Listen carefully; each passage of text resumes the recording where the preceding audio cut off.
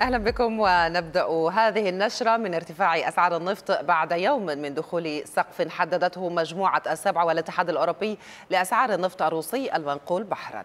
ويأتي فرض الحد الأقصى في الوقت الذي يحاول فيه الغرب تقييد قدرة موسكو على تمويل حربها في أوكرانيا لكن روسيا قالت إنها لن تلتزم بالإجراء حتى لو اضطرت إلى خفض الإنتاج.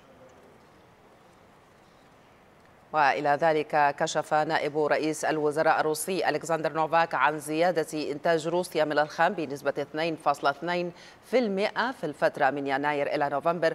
نوفاك أوضح أن إنتاج بلاده النفطي بلغ 488 مليون طن خلال 11 شهرا.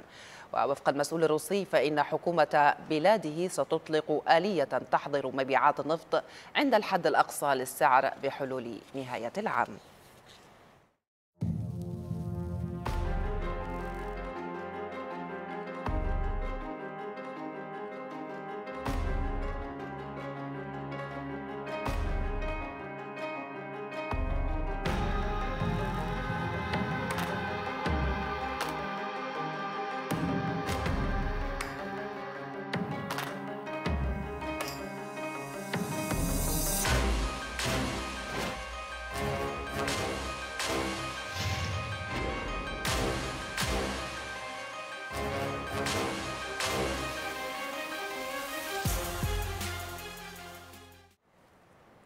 إذا بعدما دخل حيز التنفيذ كيف تناولت الصحف والمواقع العالمية فرض سقف لسعر النفط الروسي نرصد أبرز التقارير الواردة في هذا العرض.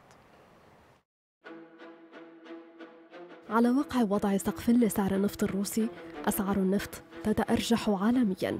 هكذا عنونت صحيفة وول ستريت جورنال تقريرها الذي تناولت فيه تداعيات القرار الغربي مشيرة إلى انخفاض أسعار النفط الخام والعقود الآجلة الأكثر تداولا لخام برنت بنسبة 3.4% إلى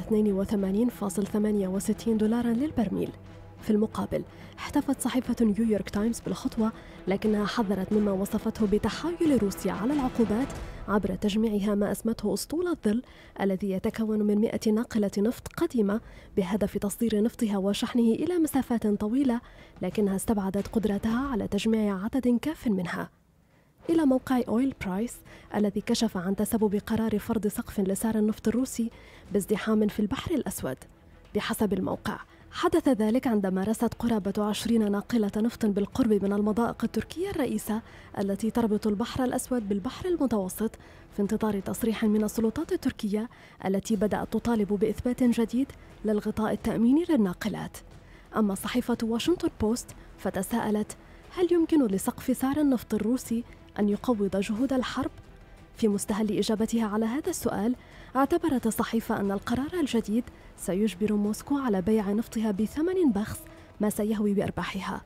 غير أن الصحيفة لا تجزم بجدوى القرار وتبقي ذلك رهن مشاركة الهند والصين فيه. صحيفة ذا جارديان البريطانية تشاركها الرأي لكنها شددت على ضرورة أن يلبي القرار هدفين رئيسين. الأول تقليل الإيرادات النفطية الروسية والثاني حماية الاقتصاد العالمي وإبقاء التضخم تحت السيطرة وفقا لتعبيرها.